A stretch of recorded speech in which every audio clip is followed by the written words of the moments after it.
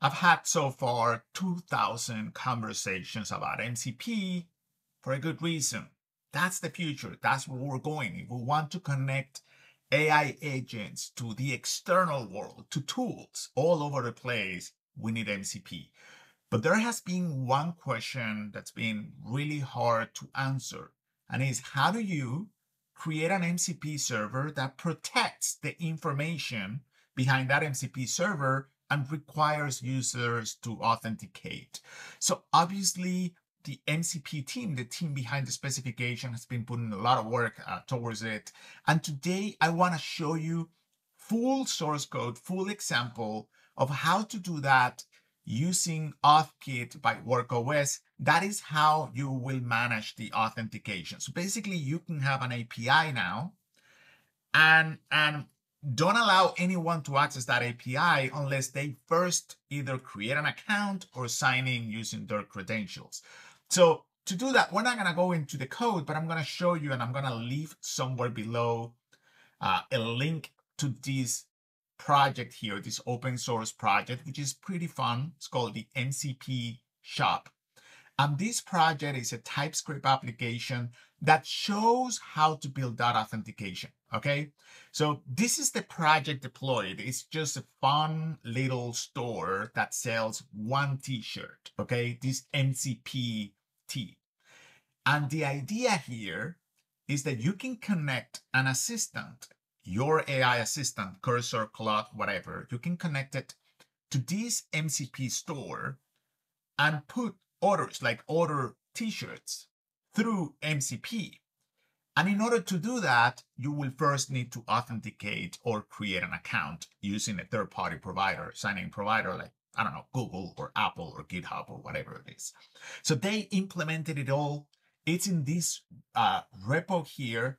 You will see all of the, you know, the entire app, everything that's going on. Like if you go here, transport, and you go to this route here, you will see this is the entire MCP server implementation. So you get full access here to do that. And it's pretty fun. So let me show you, this is the store. And there is a button here in the store. By the way, you can just see all of the t-shirts and whatnot, or all of the images. There is a view ordering instructions button. If you open that, you will get instructions to connect to Cursor or Claude integrations or a local MCP. This is the one that I'm using. So I took this configuration and I pasted it in my Claude desktop configuration. So now my local Claude application has access to this MCP shop. And the first time you do that, so as soon as you configure your Claude application, and I hope you know how to do that. Uh, in case you don't know, uh, you go to the settings of Claude. Let me see if I can show you. You go to Claude settings and there is a developer section. And here is my MCP shop. If you click on edit config, that will take you to the location of the file that you have to edit and enter your configuration.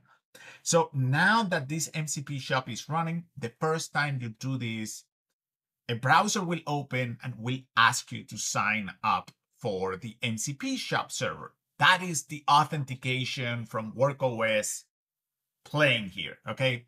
You're gonna sign up using your Google account, for example, uh, and that's it. And now you get your you get access to uh, the MCP shop through an assistant. So you can ask something like, "Are there any size L T-shirts?" The MCP shop.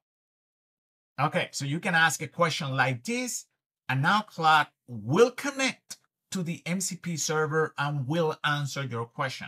By the way, the fun part here is, and but all of this is going to happen after you authenticate, obviously. The fun part is that you can say, okay, I want to order one.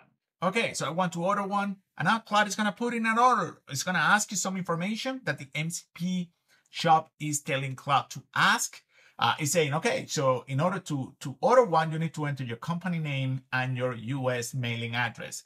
I recommend you do this, see what happens after that.